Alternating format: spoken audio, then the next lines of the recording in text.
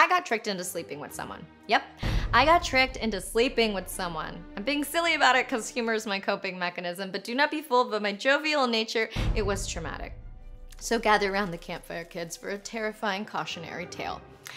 Some time ago, I was filming in another country. I was single, my heart was freshly broken, I was hanging on by an emotional thread.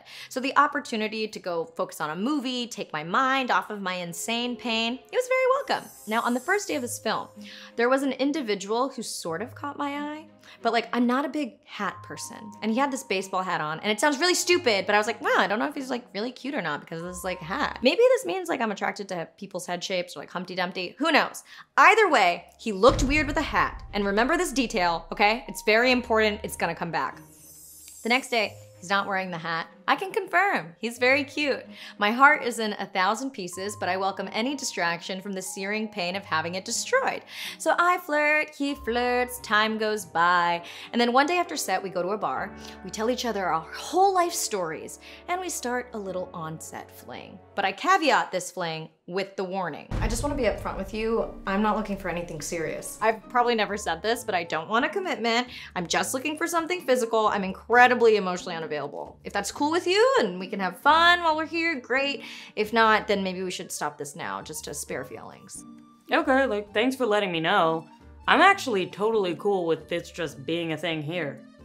Wonderful. Well, let us fuck. Fast forward, okay? We're having a fun time. We're deepening our intimacy both emotionally and physically. And when one day we were lying in bed together, naked, when he said, I have something to tell you, but I feel like it's creepy.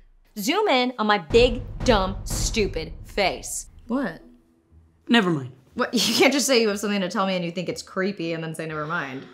Well, okay.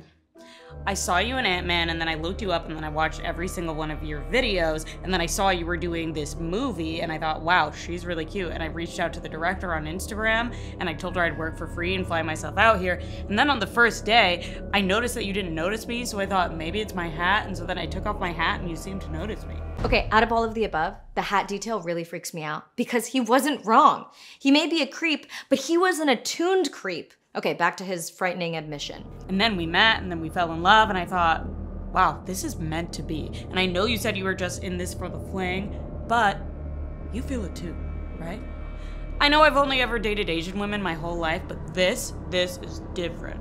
Zoom in on my big, dumb, stupid face that is attached to my naked body in a locked hotel room with this man that nobody knows I'm with in another country. Now, at this point, I do what every woman in my situation would do. Oh my god, that is crazy. I do my best to make sure that I get out of here alive. You know what? We have a really early morning tomorrow. I should I should go to sleep now. Mm, I really creeped you out, didn't I? No, no. It's so sweet how you apparently became obsessed with me and then pushed yourself into my professional life and built a relationship with me predicated on a lie. it's just like the movies. Like like horror horror movies. Yeah, you know, I would have told you sooner, but I needed to make sure we fell in love. Oh my god. Obviously, I made it out alive, but it really it didn't end there, guys. He moved to LA and would apparently troll vegetarian restaurants that he knew I liked, to try to run into me. It was uh it was and continues to remain to be terrifying. Yeah, you know, normally my videos have like a happy message at the end that like wraps up a relatable moral for us all to like take away and like feel good about. But today, today I'm just gonna warn you. People are scary. Trust no one. Build really high walls and never let them down. Move to a mountain. Live on a farm. Build a cabin in the woods off the grid and never let a, another human being ever come near you because this, this is what could happen.